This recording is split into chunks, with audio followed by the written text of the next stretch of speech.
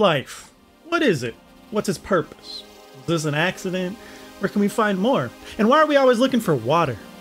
Water is essential for life. We've all heard this, we all get thirsty, we need to drink water, so it seems correct. I mean, everything else on Earth needs water, and biologists say that, so it's probably true. But why?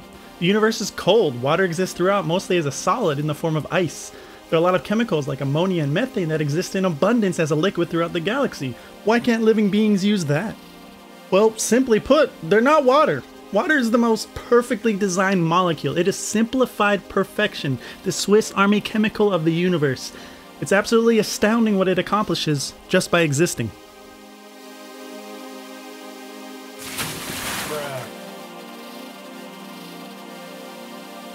Before life, there was just chemistry.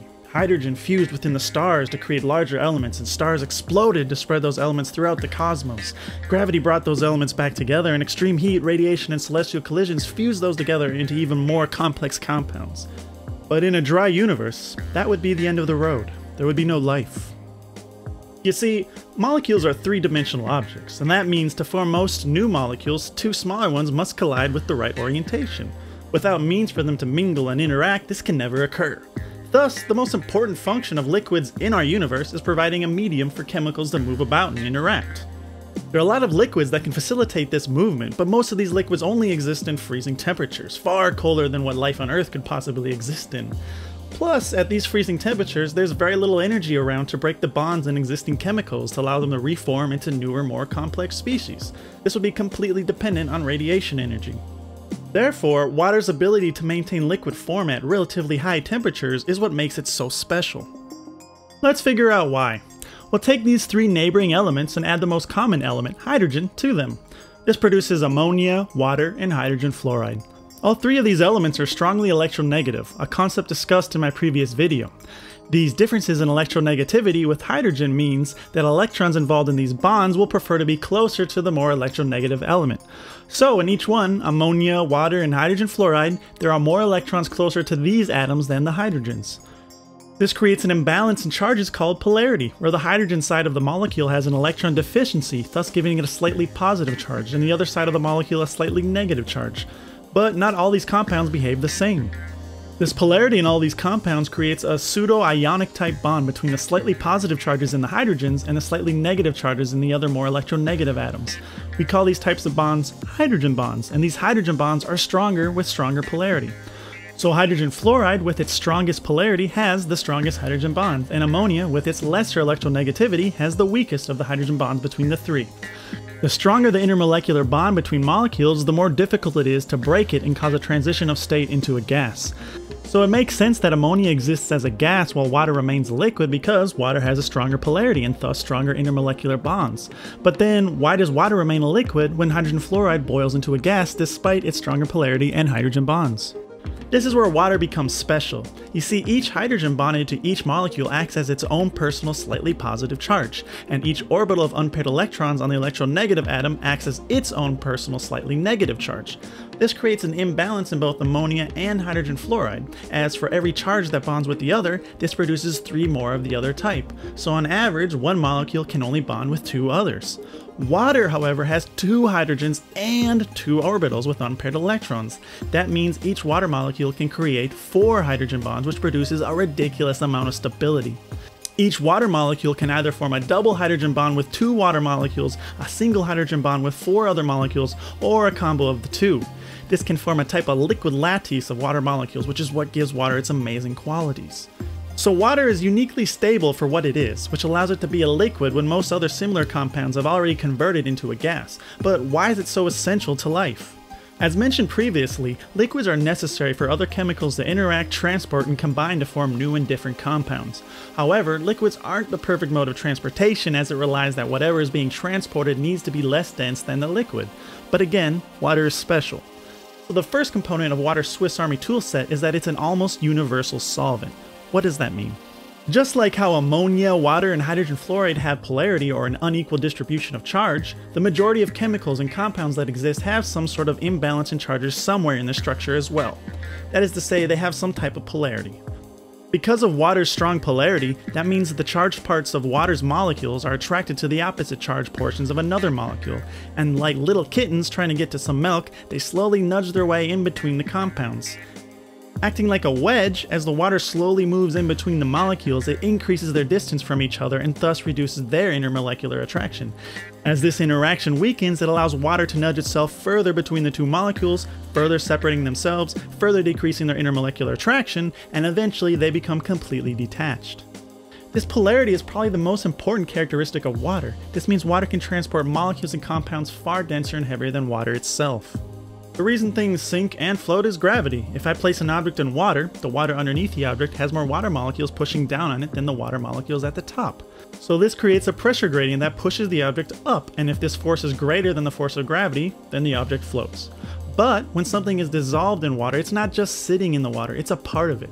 So the force of gravity's influence on the object or molecule affects the water around it too, so it doesn't sink. This means water can transport just about anything just about anywhere. This is essential for living creatures, as our cells need nitrogen, oxygen, phosphorus, minerals, and a plethora of other important chemicals and compounds. Now, we can get these by consuming food, but how do we send those chemicals to all the extremities and tissues in our body? Of course, the answer is water, which can dissolve and transfer all of it throughout the body. Oh, wait, there's more. Water has a ridiculously high specific heat capacity. This is a term used to describe a material's ability to store heat energy without actually heating up. Because of water's four hydrogen bonds, there's a lot more volume to store heat energy and a lot more bonds that need to break before an actual molecule of water breaks one of its bonds. Because of hydrogen bonding, water has almost double the specific heat capacity of the second best ambiently stable liquid. This high heat capacity is really important for thermal regulation, not only for living creatures but also for Earth. Sudden changes in ambient temperatures take time to affect our bodies as it needs to cool or warm up a lot of water mass.